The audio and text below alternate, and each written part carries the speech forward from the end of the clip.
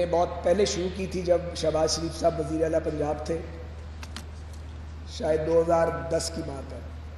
तब से उन्होंने इस काम का आगाज़ किया था। मैं लाहौर से एम था उस वक्त। और उस वक्त भी मेरिट पे लैपटॉप तकसीम किए गए थे। असल ताकत मेरिट की है। अगर आप पिक एंड चूज़ करेंगे तो कोई निज़ाम नहीं चलेगा। तो मुझे खुशी है कि मेरिट के उस मैार को हमारे दौर में बरकरार रखा गया। बीच में एक वक्फ़ा आ गया था। तब्दीली का वक्फ़ा जिसमें लैपटॉप आपको नहीं मिल सके। अब लैपटॉप आपको दोबारा मिलना शुरू हो गए हैं। मेरी दुआ है कि तमीर तरक्की और जिद्दत का ये सफ़र आइंदा भी जारी रहे।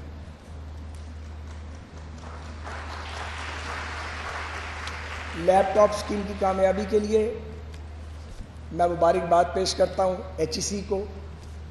मेरी छोटी बहन है, बेटियों की तरह शदा ख्वाजा साहिबा जो special assistant to prime minister हैं और सारे प्रोग्राम को देख रही हैं। उन्हीं की तहरीक पे आज मैं यहाँ आया हूँ। उस हमारी बेटी और बहन ने भी बहुत काम किया है और जिन जिन लोगों ने लैपटॉप की फ्राहमी के लिए ये अपना रोल प्ले किया, वो सब मुबारकबाद के मुस्तक हैं। छोटा सा हिस्सा मेरा भी है, क्योंकि जब इनको लिफ्ट करना था तो एयर सपोर्ट जो थी वो मुझे, मेरे ही डिपार्टमेंट ने फ्राहम की है। खैर, ये तो बात थी लैपटॉप स्कीम की और हम कमिटेड हैं आपके साथ, अपनी यूथ के साथ, अपनी कौम के साथ कि जदीद पाकिस्तान की तमीर के लिए हम अपना किरदार इन अदा करते रहेंगे।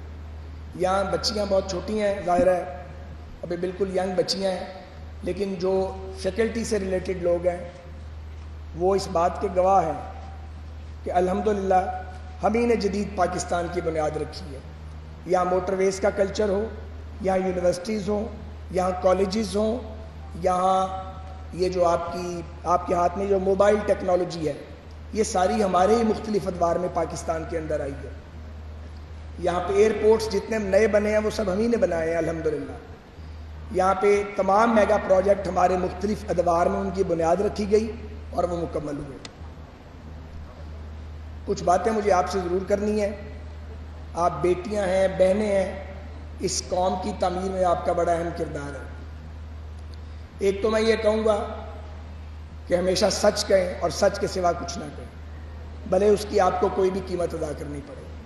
और मैं आपको ये यकीन दिलाना चाहता हूँ कि उसकी कीमत तो अदा करनी पड़ती है, लेकिन सांच को आँच नहीं और अल्टीमेट जो फतह है, वो सच की होती है। दूसरी बात मैंने आपसे ये कहनी है कि जब सियासतदान एक दूसरे पर तीर चलाएँ और एक दूसरे पर इल्ज़ाम लगाएँ तो उस पर एकदम यकीन ना किया करें और अपनी अकली दलील पे उसको परखा करें। आप पढ़ी लिखी बच्चियाँ हैं, बेटियाँ हैं, कल की माएँ हैं तो ये मैसेज आप तक जाना बहुत ज़रूरी है। मैं किसी का नाम नहीं लूँगा, मैं किसी जमात की बात नहीं करूँगा। लेकिन जब भी कोई पॉलिटिशियन मेरे समेत अपने मद्दे मुकाबिल पर कोई इल्ज़ाम लगाए तो जज्बात में आए बगैर और सोशल मीडिया से इन्फ्लुएंस हुए बगैर आप उसकी कारकर्दगी की बुनियाद पर उसको परखें और महज इल्ज़ाम की बुनियाद पर हम फैसले न करें। पाकिस्तान नहायत मुश्किल दौर से गुजर रहा है। बहुत ही बुरानी दौर है जिसमें से हम गुजर रहे हैं। ये मेक ब्रेक का दौर है हमारा। खुदा ना करे कि हम फिर टूट जाएँ, लेकिन हमें दोबारा टूटना नहीं हम 24 करोड़ हो गए हैं। बीस अट्ठारह में हम 20 करोड़ के करीब थे। छः साल में चार करोड़ हम बढ़ गए हमारे बेपना मसाइल हैं। हम तमाम कोशिश के बावजूद पीने का साफ़ पानी लोगों को नहीं दे सके। हमारी जो बस्तियाँ हैं, वो टूट फूट का शिकार हैं। हमसे ये कल अफ़गानिस्तान में आया तालिबान, उनके तर्ज हुक्मरानी से सौ इख्तलाफ होंगे। उन्होंने भी तेज़ी से ग्रो करना शुरू कर दिया। एथोपिया एक मिसाल है। कि उसका जो रेफरेंस था वो गुर्बत और भूख और कहत था। लेकिन उन्होंने अपने मुल्क को टर्न अराउंड कर दिया पिछले 25 साल में। इंडिया को तो छोड़ ही दें। वो तो बहुत आगे इंडियंस निकल गए हैं। बांग्लादेश बांग्लादेश कहते हुए जबान लड़खड़ाती है। तो इकहत्तर में वो हमसे अलग हुए और कहाँ से कहाँ जा पहुँचे हमारी आपस की लड़ाई ने हमें कहीं का नहीं छोड़ा। इरतकाज इकतदार की लड़ाई मार्शल लॉ जो बार बार लगे कभी एलानिया और कभी नकाब पोश। उन्होंने इस मुल्क को नुकसान पहुँचाया। और फिर मार्शल लॉ के नतीजे में आने वाली सियासी क्यादत, जिसे समझते हुए दस पंद्रह बीस साल लग जाते हैं और उसमें वक्त ज़ाया हो जाता है। ये खालस सियासी बात है मगर मैंने बड़ी जनरल बात की है, सच यही है।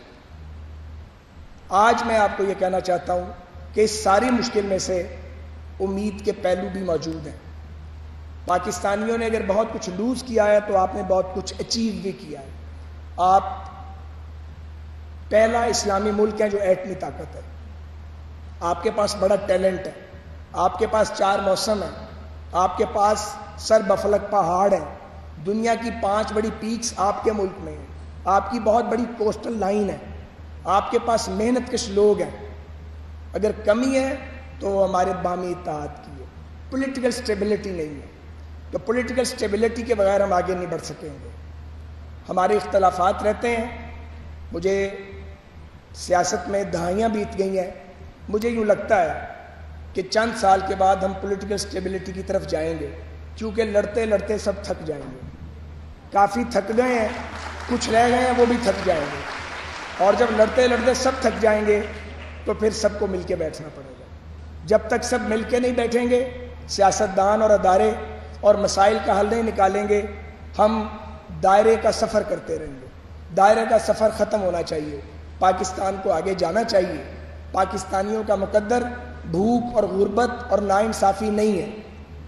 मुझे ये कहने में कोई आर नहीं है और ये तस्लीम करने में कि पाकिस्तान के फैसला साज पाकिस्तान के पॉलिसी मेकर और पाकिस्तान के हुक्मरान तबकात, कौम को इंसाफ नहीं दे सके। और मुख्तलिफ़ मौक़ों पर इंसाफ के नाम पर या तो धोखा दिया गया है या इंसाफ दिया ही नहीं गया। लोग हुकूमत में आ जाते हैं विदाउट प्रिपरेशन उन्हें मालूम ही नहीं है कि अदारे चलाने का मैकेनिज़्म क्या है और उनको कैसे आगे लेके जाना है। बात बहुत देर तक हो सकती है, लेकिन उसकी ज़रूरत नहीं है।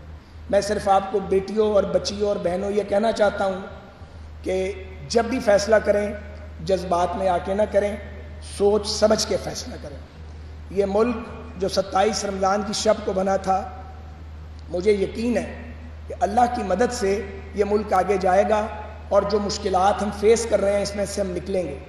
हम सबको मालूम होना चाहिए कि हम दिवालिया होने की बिल्कुल एज पे खड़े थे आके। और ये जो आईएमएफ का प्रोग्राम है, जो खुशी की बात नहीं है, मजबूरी की बात है, वक्त आना चाहिए कि हमें आईएमएफ के आगे हाथ ना फैलाने पड़े। मैं रेलवे भी मेरी ज़िम्मेदारी है और एविएशन भी। लेकिन एविएशन के वज़ीर के तौर पे जो कुछ मैंने पिछले पंद्रह माह में देखा है, वो बात चीज़ें हैं जो काबिल बयान नहीं है। जब आपको पैसे मांगने के लिए दूसरे मुल्कों में जाना पड़ता है तो दिल करता है कि ज़मीन फट जाए और हम इसमें चले जाएँ। पैसे ना मांगने पड़े, बड़ा मुश्किल काम है। लेकिन पैसे मांगने हम जाते हैं, अपने से सौ गुना छोटे मुल्कों के आगे जाके हाथ फैलाते हैं। ये हमारे हालात हैं। फिर हम कहते हैं कि ग्रीन पासपोर्ट की इज़्ज़त नहीं है। जब हम पैसे मांगेंगे, खैरात मांगेंगे तो कौन हमारी इज़्ज़त करेगा मुझे बताइए? तो ये कॉन्ट्राडिक्शन हैं हमारी कौमी ज़िंदगी में, इनको दूर करना है। और इनको दूर करना पहले तो सियासतदानों की ज़िम्मेदारी है, फिर पाकिस्तान के रियाती इदारों की ज़िम्मेदारी भी है। और ये ज़िम्मेदारी आपके इस की भी है कि ये दरसगाह सिर्फ़ टेक्स्ट बुक के लिए नहीं है। ये आपकी जहनी और रूहानी नशो नुमा की दरसगाह है। आपके इस की भी ये ज़िम्मेदारी है कि वो आपको इस तरीके से बिल्डअप करें। कि आप जहाँ रहें मेरिट पर काम करें, खराबी का सामना करें और डट जाएँ उसके सामने। कोई नुकसान नहीं होता, मैं आपको बता रहा अगर आप डटे रहें अपनी जगह पे, वक्ती की कीमत आप अदा करते हैं, मैंने भी ज़िंदगी में बहुत कीमत अदा की है। लेकिन हर मुश्किल से आप निकल ही आते हैं। अगर मुश्किल आती है तो उसके बाद आसानी भी आती है। कल एक बड़ा खौफनाक रेलवे का हादसा हुआ है, जिसमें तीस कीमती जाने ज़ाया हुई हैं। ये हमारे कम वसाइल का शाखसाना है। हम उसको इन्वेस्टिगेट कर रहे हैं। लेकिन चूँकि मेरे कुछ ये ज़िम्मेदारी है, अब तो दो दिन बाकी हैं, उसके बाद केयर टेकर आ जाएँगे। हम उसकी इन्वेस्टिगेशन कर रहे हैं और जो ज़िम्मेदार हुआ उसको सज़ा मिलेगी। लेकिन असल ज़िम्मेदारी है कि हमारे पास रिसोर्स नहीं है। हम चीज़ों को मेंटेन नहीं कर पा रहे हैं। हमारे मसाइल हैं। और मैं इस फोरम पे आपको ये बताना चाहता हूँ कि चाइनीज़ के साथ एम एल वन जो लाहौर से कराची तक जाती है और आपकी मेन लाइन है रेलवेज़ की, उसका हमारा फैसला हो गया है। फैसला तो हम 2018 में कर गए थे। पीछे हुआ ही कुछ नहीं और सब कुछ डीप फ्रीज़र में चला गया। अब दोबारा हमारी बात हुई है और अक्टूबर में इन बीजिंग में जो भी केयर टेकर गवर्नमेंट होगी प्रेसिडेंट शी जो चीन के सदर भी हैं और उनके एक बड़े सियासी मुदब्बर भी हैं, उनकी मौजूदगी में ये एग्रीमेंट साइन होगा और पाँच से छः साल में अगर तसलसल कायम रहा काम का तो पाकिस्तानियों को एक ऐसी रेलवे देखने को मिलेगी जो हम मुल्क से बाहर जाकर देखते हैं। इसी तरह आपका एक और अदारा है पी आई ए, जो पिछले चौदह माह से मेरी ज़िम्मेदारी है। मैंने बड़ा ज़ोर लगाया ईमानदारी से कि किसी तरह ये चल जाए। पी आई ए वालों ने भी ज़ोर लगाया, इसने नहीं चलना। ये मैंने डंके की चोट पे सबको बताया है, इसको बदलना पड़ेगा। और वैसे बदलना पड़ेगा जैसे दुनिया में बाकी एयरलाइंस को बदला गया आपकी ये एयरलाइन दुनिया की बड़ी एयरलाइंस में शामिल थी। आज उसकी हालत पथेटिक हो गई है, क्योंकि उसमें सियासी भर्तियाँ की गई हैं। मेरिट बेस्ड काम नहीं किया गया मुख्तलिफ़ अदवार में। उसका हल यही है जो एयर इंडिया ने रिजॉल्व किया है, या जो साउथ अफ्रीकन एयरलाइन ने अपने मसले को हल किया है। हम उस पर भी बुनियाद रख गए हैं। इसको प्राइवेट सेक्टर को साथ लाना पड़ेगा। उसमें प्राइवेट सेक्टर की F D I foreign direct investment लानी पड़ेगी ताकि हम नए जहाज़ लाएँ। पूरी दुनिया के रूट्स हमारे पास मौजूद हैं, जहाज़ ही नहीं है हमारे पास। तो जहाज़ के बगैर एयरलाइन कैसे चलेगी? बेहतरीन प्रोफेशनल भी मौजूद है। सो इन्वेस्टमेंट पाकिस्तान के पास नहीं है। तो उसका सोल्यूशन फिर यही है, दुनिया ने सोचा कि फ़ॉरन डायरेक्ट इन्वेस्टमेंट लाई जाए। इसी तरह आपके एयरपोर्ट आउटसोर्स होंगे एक एक करके। क्योंकि अब दुनिया में सरकार का काम एयरपोर्ट बनाना, चलाना नहीं है। अब तो प्राइवेट सेक्टर एयरपोर्ट बना रहा है। आपका अपना सियालकोट का एयरपोर्ट प्राइवेट सेक्टर ने बनाया है। तो सबसे पहले इस्लामाबाद का एयरपोर्ट हम पंद्रह साल के लिए आउटसोर्स करेंगे।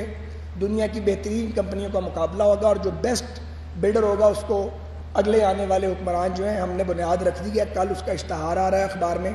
वो उसको कॉन्ट्रैक्ट मिलेगा और जब वो जाएगा तो ये इस्लामाबाद का एयरपोर्ट खाली एयरपोर्ट नज़र आता है। ये भरा हुआ एयरपोर्ट होगा। दुनिया भर के ब्रांड्स होंगे इसके अंदर। और इसकी कैपेसिटी नब्बे लाख से एक करोड़ तीस लाख पे चली जाएगी। ये चंद चीज़ें जो मेरी ज़िम्मेदारी थी, मैंने समझा कि मैं आपको बताऊँ कि ऐसा नहीं है कि हर तरफ़ मायूसी की बात है।